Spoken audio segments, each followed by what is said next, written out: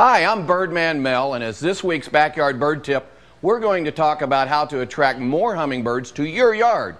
Unless you are fortunate enough to live in the warm southwest or the western parts of the U.S., most of us only enjoy hummingbirds from mid spring to late fall.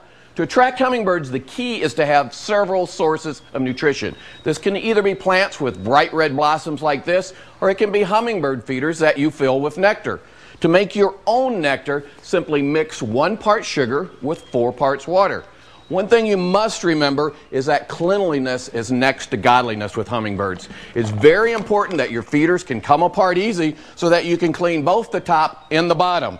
Make sure you have a brush that helps you clean all those little parts, including that spot the hummingbirds have to go in to eat. You have to remember that mold and mildew are like DWI to hummingbirds. It throws off their guidance and they will not return to your feeder for a long, long time.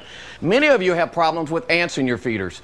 To keep them away, you can hang an ant moat above your hummingbird feeder. You simply fill it full of water. Ants can't swim. It works like a moat around a castle. You can buy these or you can make your own out of a tuna can or a film canister. One last thought dig out that big red Christmas bow and tie it in the yard. Put it around a tree or a hook. Hummers will come down for a look. Do these things, and soon you'll enjoy hummingbirds zipping around your yard all summer long.